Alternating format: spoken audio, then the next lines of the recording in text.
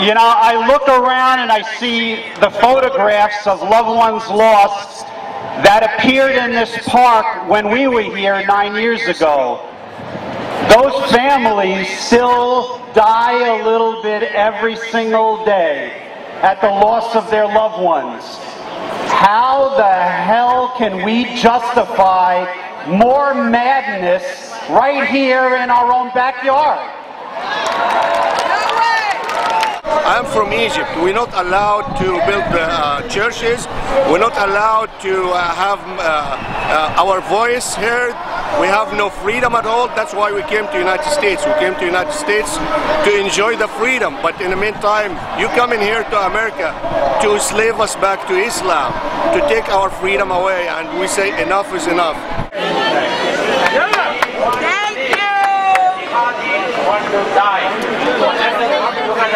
that we will make the life of every American a comfortable and comfortable one. Thank you.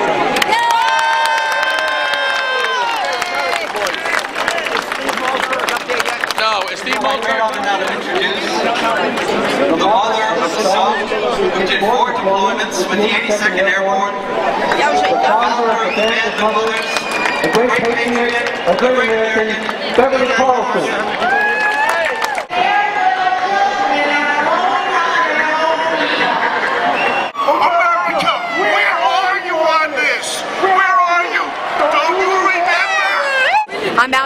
9-11 family defending freedom and being a voice for my husband's twin that unfortunately is no longer with us.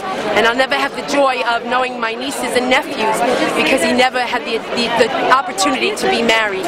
All he did was work hard in his life and on that day on 9-11 I could have lost my husband as well who was in the same tower on the first floor and Billy was on the 105th. And so I would say to you that this is a battle for your freedom.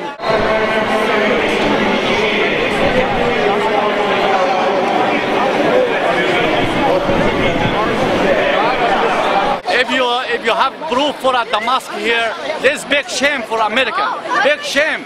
And you give uh, after you kill 4,000 people, and you give him uh, mosque gift for uh, Bin Laden, uh, the terrorists in 19 terrorist people. And you give him uh, center here, you give fund for mosque here. This big shame.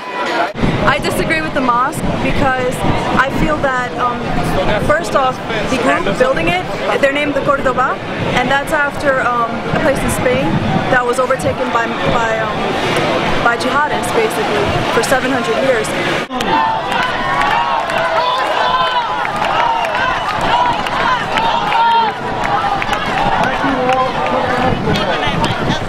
It gives me feeling that Mr. Obama is a president for Muslims only.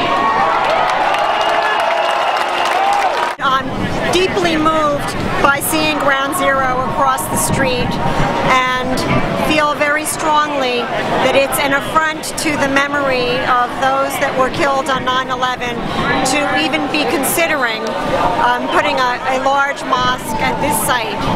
No mosque, no way. Ground Zero area is a memorial thing right now. 3,000 people have been killed. So that's very dangerous to build a mosque or to build something uh, presenting the, the, the Islam.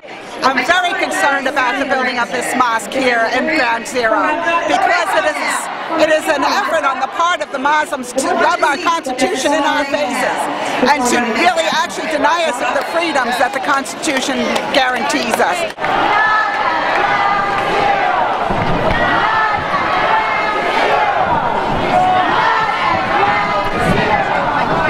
I wanted to say that they shouldn't build a mosque where our people died at, and these, this is our country, and yet they're gonna destroy us. They're taking over, and it's not right. President Obama, he shouldn't be taking, he shouldn't be letting them do that to us.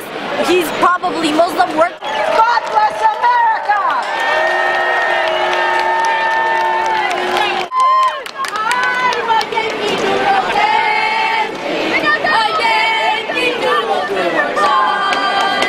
America has never been conquered and will never be. We love America. This project is offensive to uh, American people and to our feelings. It is hurting us. And I think in the interest of uh, our prosperity and our security and peace in our society, uh, and sensitivity to our feelings, this project should stop. God bless our soldiers in foreign lands defending our freedom. God bless America and God bless us all. Christians in Egypt, we have been persecuted a lot. Because Egypt, there is 80 million people that are Muslims. Is a minority there? As 20 million people that are Coptic Christians. So I've been persecuted a lot. If a man or woman, they converted to be a Christian, they're gonna be killed.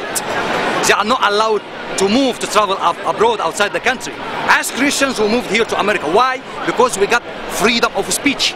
If I talk like that in Egypt, I will be killed for Muslims. Why? Because they put price on my head. I cannot go to Egypt and talk like that.